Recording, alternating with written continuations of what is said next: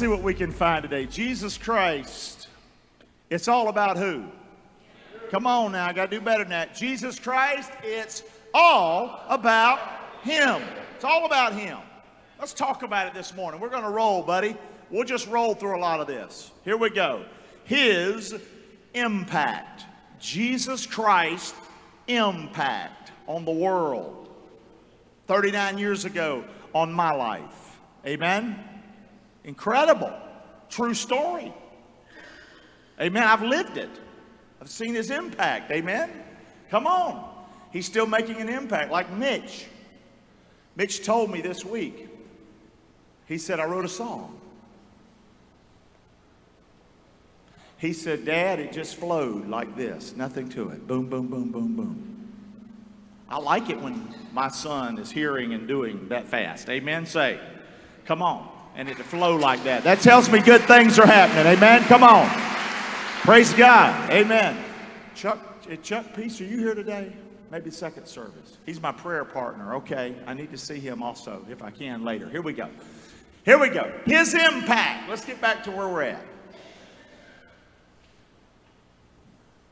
Recently, a poll was done on who has had the greatest impact on the world. Sadly, Jesus Christ came in seventh place. Hey, I'm talking about the poll. That was the poll. All right? They are wrong. But the point is, it's a good barometer of our world. Yes or no? Amen. Come on, keep looking. Cities across America like Mobile, Alabama, I think it was interesting because President-elect Trump last night had a rally in Mobile, Alabama. And right on the front of the uh, podium was Merry Christmas. Right on the front of the thing, Merry Christmas.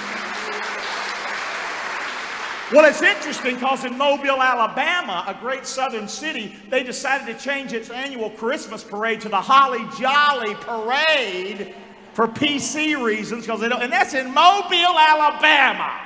Are you kidding me? Now, I think that may be somewhere else, but Mobile?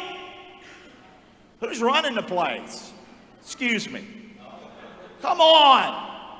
Schools across America have replaced the word Christmas. It's almost across the board now. They've replaced the word Christmas for winter holidays. And you know what that does to our kids? Pop it up. Here's what it does to our children. Children are wondering what's so wrong and bad about Christmas. If you can't say it. Are y'all listening to me or not? There's a message that's being sent. Oh, no, we're just trying to get along with it. I understand. I like getting along with folk. But you're doing something else. Why can't we say Christmas, Dad? What's so wrong with it? There's nothing wrong with it. Come on, his impact. His in, no wonder he's coming in seventh. It's all part of Satan's plan, excuse me, to dumb down people about Jesus. His impact was people like me and you that's going to open our mouth. Amen, say.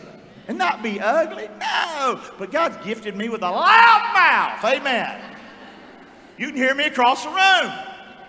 Amen. Now, some aren't loud. That's good. You be your little quiet self and you just say, Merry Christmas. That's okay. You like the corner where you are. Many cities around the country have instructed their city and state employees to avoid saying Merry Christmas, but rather Happy Holidays, Season's Greetings, or whatever, guys. Now, here's the city and state talking. Whatever you say, you say whatever, but don't say Merry Christmas. Don't say Merry Christmas. Guys, I'm not making this stuff up. You know I'm telling you the truth of here. Come on. Any reference to Jesus Christ, especially concerning his birth, is deemed, say it with me, harmful, offensive, or it's you're just being a little too much there. Uh, you need to calm it down. You know, you walked by me and said Merry Christmas. I mean, really, you're a radical.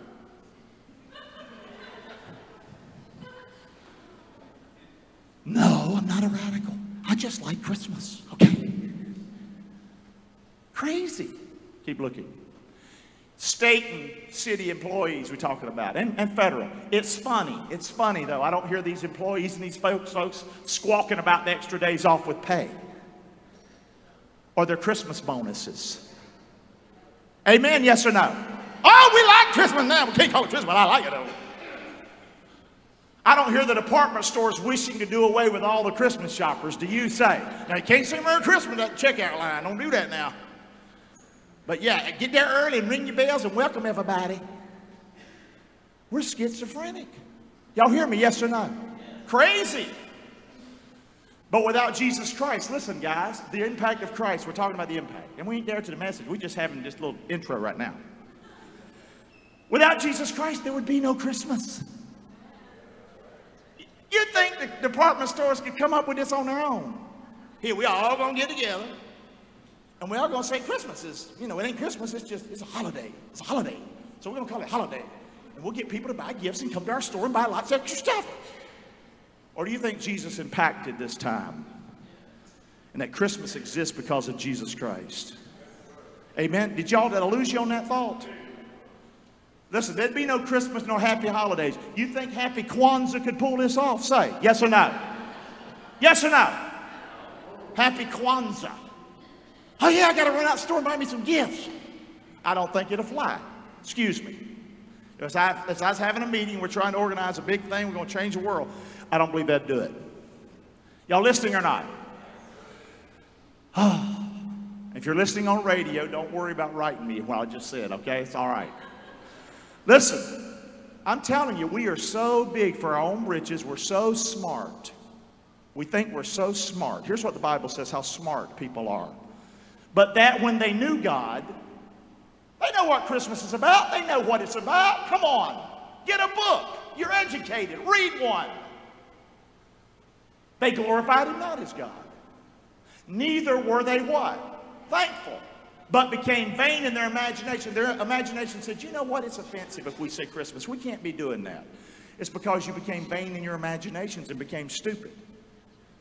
Y'all hear me? Yes or no? Now, guys, I'm sorry I'm telling you this because if you watch the media, it's like, you probably think I'm wrong. I'm not, okay? Say. This is the truth right here. You need to turn that other crap off, excuse me. All right, sometimes. Y'all listening to me? I know that was ugly. I know that was ugly. That was ugly. But they became vain in their imagination. Their foolish heart was darkened. They come up with this great idea, this great idea. No more Christmas. Say this, say that. Professing themselves to be what? They became what? Are you hearing me? Yes or no? Is that what the Bible just said? Sure it is. Keep looking. Jesus Christ has impacted our world, our calendar, do you know it's BC and AD? Do y'all know that? Yes or no? Yeah. He's a, he's a pact at this time of year especially. You go anywhere, people that don't know the Lord at all, at all, in this country, they'll have Merry Christmas out front of their house. Is that true? Yes or no? You'll pass people don't go to church ever. They'll go, Merry Christmas, Merry Christmas. Don't believe the lie. He's impacted the world. Amen? Come on. Whether people want to acknowledge it or not, he has impacted our world. Now, we're going to switch gears and move to the Bible. Y'all all right? That's actually my little fun part in the message. I get to do that part. That's where I get in trouble right there, by the way. You'd be pretty good, Clark, if it weren't for them intros. Amen. That's when people leave. I, hmm, not really. Here we go. Jesus Christ's impact is immeasurable. The family the impact on family. Living proof right in front of you, the Clark family. Hellraiser's lost drunk mama. We started going to church right at the end of November, early December, 77. Look at the impact that Jesus Christ made on the Clark, just the Clark family. That's huge.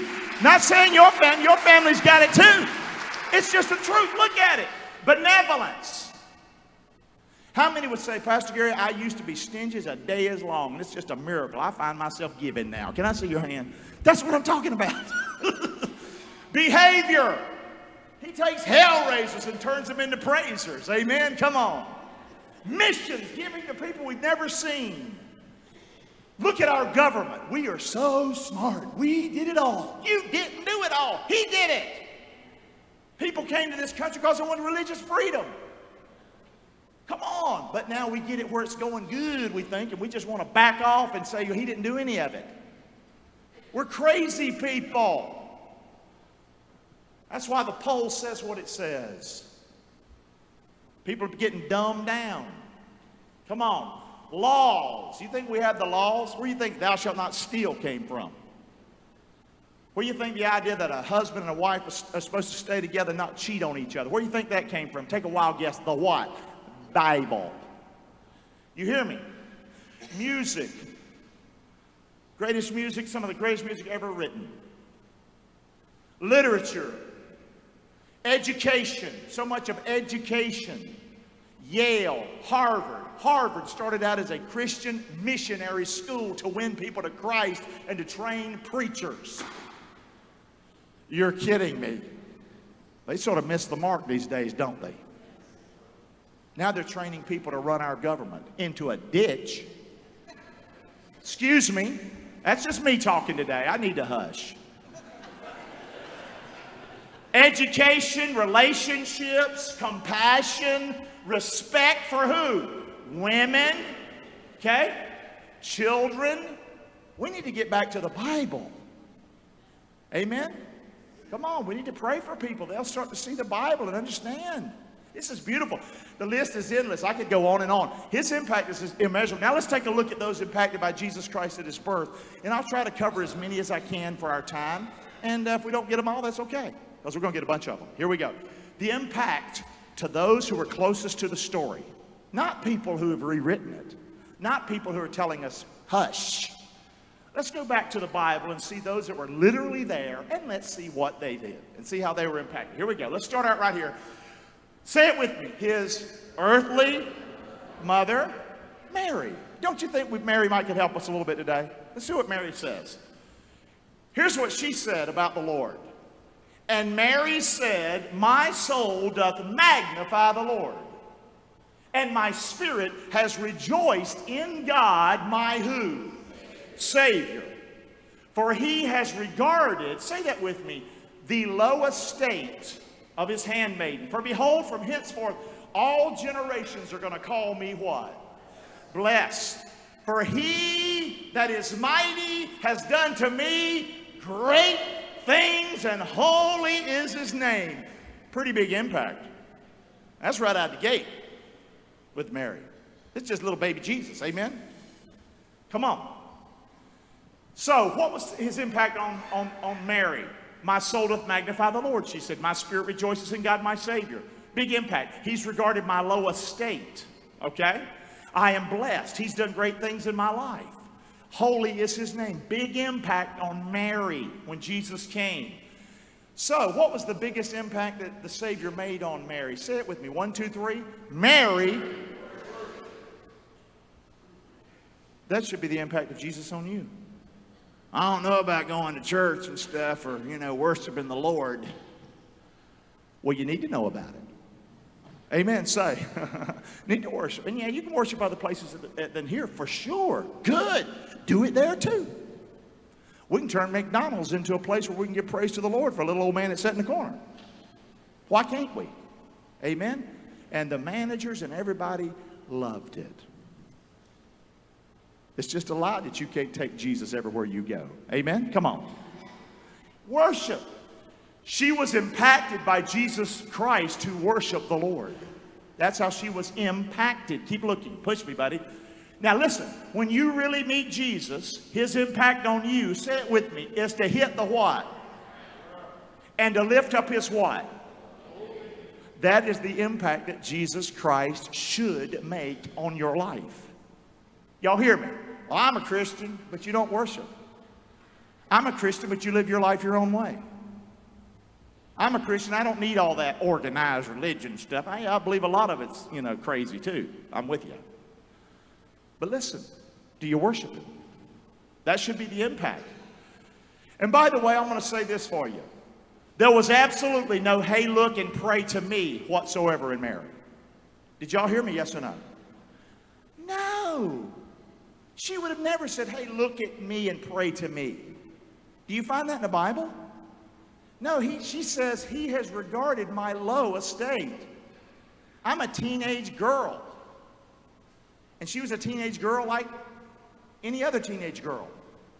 She was born by parents, just like any other teenage girl was born. And we're all born into what? Sin. You don't believe Mary sinned, do you? I don't believe my Bible if I don't. Does the Bible say all have come short of, of, of the glory of God? Does the Bible say there's none righteous, no, not one? Yeah, but Mary. Bible doesn't say that. Man says that. That's where professing themselves to be wise, they become what? We don't want to change the Bible, guys. Amen? Come on, that's where you start going down a bad path. Listen, do we honor Mary? Absolutely, because she even said it herself. People are going to call me blessed. Amen? And we do. We do. That's, Mary, you are blessed. You're blessed. Because of him. Amen. Y'all get that one? That's his impact. His stepfather. Let's look at him. Let's see what, how he was impacted. Now, the birth of Jesus, Christ was on this wise. When, as his mother Mary was a spouse to Joseph, before they came together, before they had sexual relations, she was found with what? Wow, this don't happen. Found with child of the Holy Ghost. Then Joseph, her husband, being a what kind of man? Just man, not willing to make her a public example because he loved her, cared about her, could have had her stoned. He didn't. He was minded to just put her away privately. Just to sort of make this thing go away. You know what I'm saying? We're not going, you know. But I'm not going to have her stoned to death. That's what could have happened. So while he's thinking on these things, all screwed up in his head, who wouldn't be? Behold, the angel of the Lord appeared to him in a dream, saying, Joseph, thou son of David, say it with me, fear not to take unto you who? Mary, your wife. Keep reading with me. For that which is conceived in her is of the Holy Ghost. Wow. And it probably just got crazier for Joseph. Thought I was already crazy. And she shall bring forth a son. Now say this part with me and thou shalt call his name, and he shall save his people from their sins. Amen. Keep looking. Other scripture. Then Joseph, being raised from sleep, did as the angel of the Lord had bidden him, and he took unto him Mary to be his wife, just like the angel said. He didn't have sexual relations with her until she had brought forth her firstborn son and called his name Jesus. Mary later on had other children. There's a lot of people that teach you and make you believe that Mary and Joseph were, were married, never had sex relations at all. Well, she got them babies from somewhere.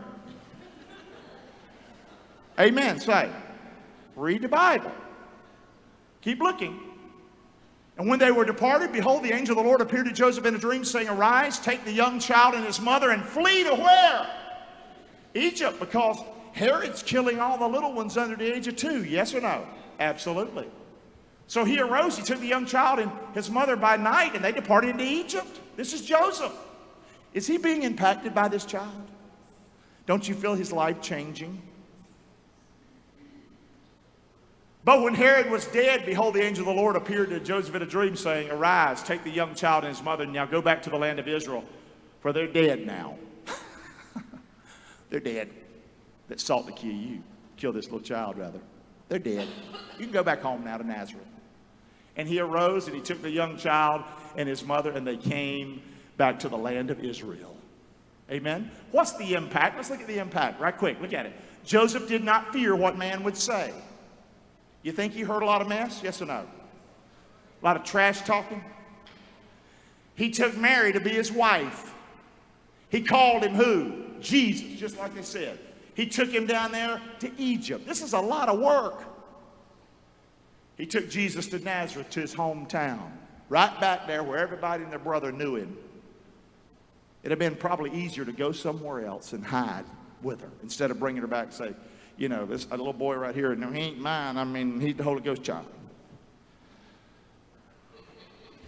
How'd that play out, you think? Do you see what I'm saying? But he obeyed the Lord. How did he, how was his life impacted? You know what, we know what I came up with here? Joseph really found a reason to live. He found a reason to live. His whole life was changed. He was moving here and going here. And marrying somebody that people said he shouldn't, but he did it. His whole life was changed. He found a reason to live, to be the husband of this family, to be this father, to be this protector. Amen. Say. Jesus Christ gave him real meaning and purpose in his life. What looked like a sad situation for Joseph turned out to be the what? The greatest thing in his life. Hallelujah. When you really meet Jesus, guys, his impact on you will be something that will give your life real meaning and purpose. I watched it in my mama's life. That Saturday night after watching Billy Graham on the TV, drunk as a skunk, she got up went to church. I went with her. Three weeks later, we put our faith in Christ. My mother never drank another drop. She became just, you know, it took her a while, man, but she, it didn't take her too long. she became on fire for the Lord. Amen. Serving where she could. She never read the Bible. She didn't know nothing about the Bible, but Jesus Christ gave mama a reason to live. Gave me a reason to live too, even though I fought it. I don't know if y'all know this or not, but my mama took me to Bible college. My mama never left North Carolina much. Country people are like that, especially where I'm from. Mama took me to Chattanooga, Tennessee to go to Tennessee Temple University. That's a good mama that'll do that right there. Put me on that path. Amen. And now my life has been impacted by Jesus Christ big time. He's given me meaning and purpose. I know who I am. I know what I do. I don't sometimes think I do a good job at it. But that's the devil. Okay? I know I matter and I know I have value. And God's good to me. But I'm, I'm proud, not in a negative or arrogant way, but I'm proud to be pastor of Fellowship Church in Englewood, Florida. I know what I'm going to do on Sunday morning. Amen? I know where I'm going to be. I don't think my young ones have to wonder, where daddy going? Amen. Or Kim says, are you getting up today? No, I watch her lay there when I leave.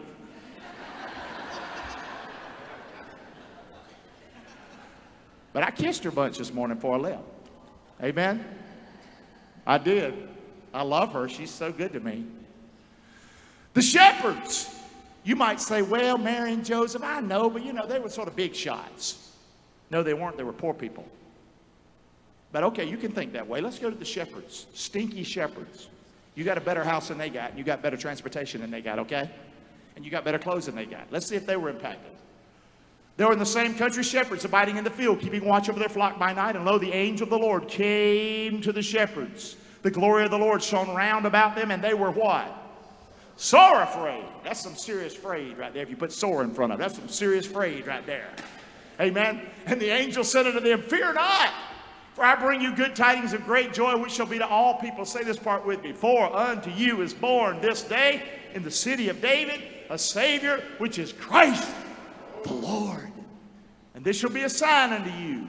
You shall find the babe wrapped in swaddling clothes, lying in a what? Do you think these shepherds were familiar with mangers? Yes or no? Sure they were. Feeding troughs. Boy, he's speaking language they understand. If he'd told them go to the big city and find them on the fifth floor, probably been a problem. But you go and you'll find that little baby in wrapped in old blankets and mess, laying in a manger. Maybe they could do this. Talking their language, amen? And suddenly there was with the angel a multitude of the heavenly host praising God and saying, Glory to God in the highest uh, earth, on earth, peace, goodwill toward men.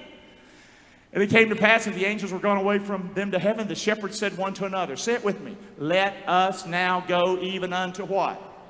Bethlehem, which was just a little spot in the road. Not big Jerusalem, little old Bethlehem and see this thing which has come to pass, which the Lord has made known unto us. And they came with what? We're learning here today, guys, the impact of Jesus. And they found Mary and Joseph and the babe lying in a manger. And when they had seen it, they made known abroad the saying which was told them concerning this child. Amen? What was the impact on the shepherds? Now, Mary worshiped. This is not something we can't relate to. Joseph found real meaning and purpose in his life. This is something we can all relate to. The shepherds, what they do, they feared. Keep looking. They followed fast. Say that with me. They what? They let everyone know what they were told. This was the impact on the shepherds. They feared, they followed fast, and they let everybody know what was told to them. Amen? These were the lowest class of people during that day. The angels appeared unto them, so so much for status and stuff. So much for you thinking you're so low on the totem pole, God doesn't care about you. That is bull. He loves you to pieces. He shows it right here. The shepherds were impacted by Jesus Christ. And here's how they were impacted. Say it with me by fearing and following fast. Don't forget that. Come on, fearing and following fast. They feared and they did exactly what the angels said unto them. They did exactly what they, what they heard. And listen, here's the key to us. When you really meet Jesus, when you really meet Jesus, he will impact you with fear. What does that mean? That's a reverential awe. That's a respect for him. You understand? He's no longer going to be that one you trash talk. Amen. Say. He's going to impact your life like that. You're going to fear him, reverential awe. And there will be a what? Willingness to follow him and not. I believe that. When Jesus has impacted your life in a real way, it's going to make a difference in your life. Listen, my mama, I keep using mama. Mama had lived a, a life, not a good life, a hard life, an ugly life. Jesus came in her life. She received Jesus, didn't know anything about the Bible, but humbled herself and said, Yes, I believe you love me. I believe you died for me. I accept you. Thank you for loving me. She started right there. That afternoon, boom, down the drain. That's pretty fast, ain't it? Say. Reverential awe. Didn't know much. Now, for me, it was about six months. I did start going to church. I got saved, put my faith in Christ, but I fought it. But even when you fight Him, He works with you. Amen? For me, about six months later, I caught myself and I realized I wasn't saying GD and F this and that. My language has changed. And He had started working with me right where I was. Amen? And I started following Him and I picked up some speed. Amen. Doesn't mean I don't do this every once in a while, but that's the key here. Did I lose you this morning on this talk? Keep looking. Every one of us has this ability. Every one of it. You don't know what I've gone through. Like out of 7 billion people, you're this one that's only gone through this. Come on. Every one of us has this ability to fear and follow fast. Say, I have this ability to fear and follow fast. You have this ability. Instead of excuse making, I can fear the Lord. I can follow him fast. Well, maybe five years from now, I'll be following Jesus. How about today? Say, come on. It's given by who? It's not given by you anyway. The Holy Spirit, the living God, comes into your life and quickens you that was dead. Now you're alive. Amen? And you have that. You got to believe that, man, by faith. He quickens us and empowers us, the shepherds. What else? We're still on time. We ain't too late. I know it feels like it's like Monday already, doesn't it? We're like Monday in here. Simeon. Who's Simeon? Behold, there was a man in Jerusalem whose name was Simeon. The same was just and. He was waiting for the consolation of Israel. He was waiting for Messiah. And the Holy Ghost was upon this man. And it was revealed unto him by the Holy Ghost that Simeon, you will not see death before you've seen the Lord's Christ, before you've seen the Messiah. And he came by the Spirit into the temple. And when the parents brought the child Jesus into the temple to do after the custom of the law, that Simeon took baby Jesus up in his arms and he blessed God and said, Lord, now let your servant, this old man, depart in peace according to your word. Say it with me. For my eyes have seen thy salvation. Wow. Pretty big impact, huh? which thou hast prepared before the face of all the people, a light to lighten the Gentiles and the glory of thy people, Israel. What was the impact on Simeon? He was impacted when he saw Jesus. He saw salvation. Have you seen Jesus? Well, I mean, he didn't show up last night at the house. That's not what I'm saying. Have you seen his salvation? Have you seen yourself as a sinner? But a sinner that knows in your heart that God loves you. That God so loved the world, he gave his only begotten Son, Jesus, that if I'll believe in him, I'm not going to perish. I'm going to have everlasting life. Have you seen that? Say. Have you been right there and seen that? Once you see him, you're going to run to him and you're going to be saved. It's going to happen. Jesus said, If I be lifted up, I'll draw all men unto me. That's what he says over in John 12 32. If I be lifted from the earth, I'll draw all men unto me. Keep looking. The ruler of the darkness of this world wants Christmas what? Well, there's a reason. There's a reason for these happy holidays. It's not that the government and that people are just trying to be PC and nice and respecting their neighbors. I love my neighbors. There's a bigger something going on. If Jesus is lifted up, people will be saved. If Jesus is not lifted up, people will die and go to a devil's hell. Did you hear me? Yes or no? If Jesus is lifted up, people will be saved. How are they going to be saved with that unless they hear? Yes, sir. Is that what Romans says? It does say that. Romans 10 17, I think, or 10 15, somewhere in there. Because when people start to get a glimpse of Jesus, and you know it's the truth, people are more attentive and more open to the gospel around Christmas. And what other time of the year? Easter. Is that the truth? Yes or no? It's the truth. Wonder why? Wonder why they're more open during those two times of the year. You know why? Because Jesus is lifted up more those two times of the year than the rest of the year. Does that make sense?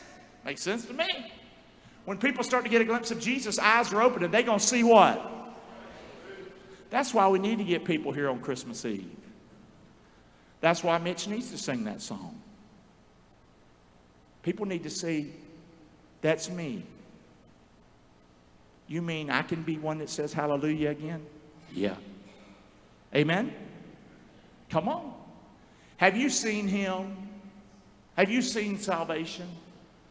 I started getting glimpses of him back in early December 77. Matter of fact, it's 39 years ago today.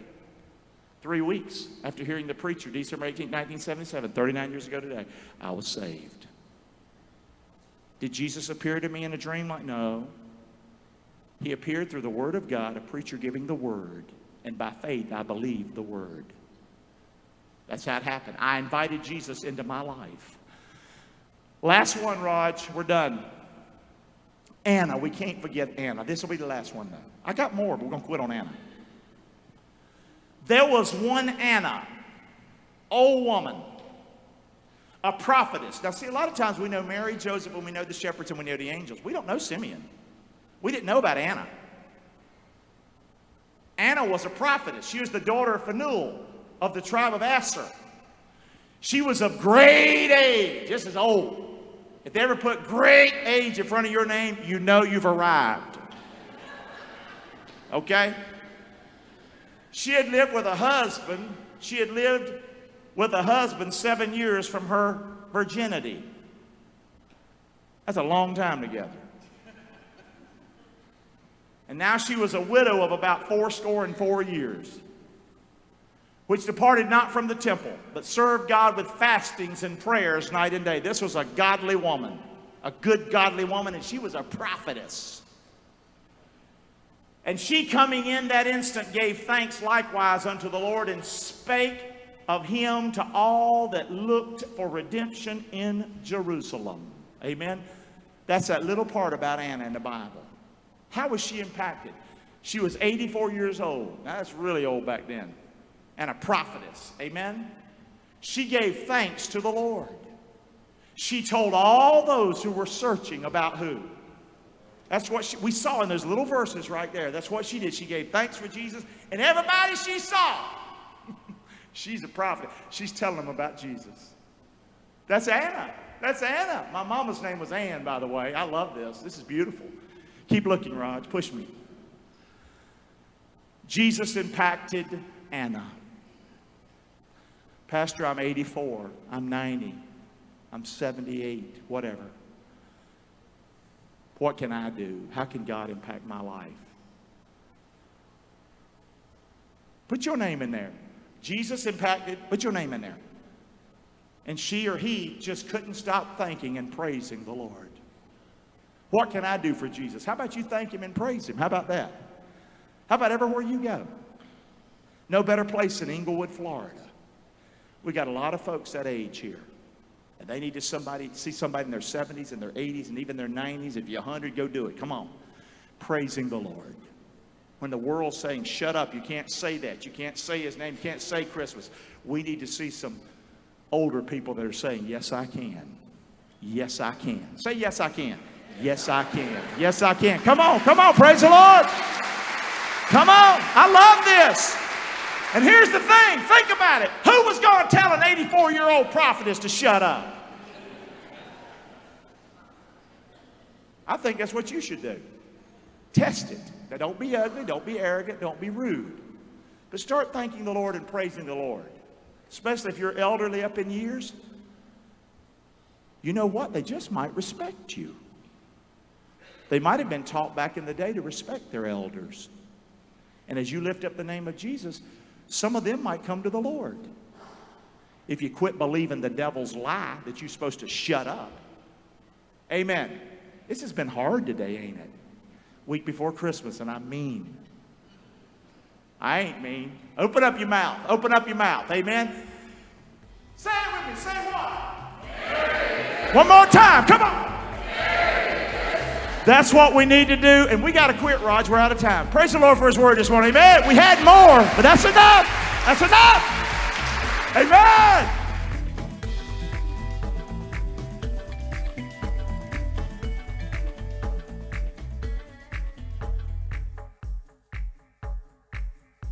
Fellowship meets every Sunday morning on our beautiful 15 and a half acre campus in the bullseye of Rotonda, West Florida at 140 Rotonda Boulevard West. Early worship begins at 8:30 a.m. with our morning worship service beginning at 10:30 a.m. Between these two services, we offer gourmet coffee, fresh juices, pastries, and lots of fellowship free of charge in our hospitality center. If you are looking for a church in the Englewood area or would just like to pay us a visit, we would love to fellowship with you. For more information, give us a call at 941 475 7447 or log on to fcinglewood.com. For Pastor Garry Clark and all of us at Fellowship, God bless you.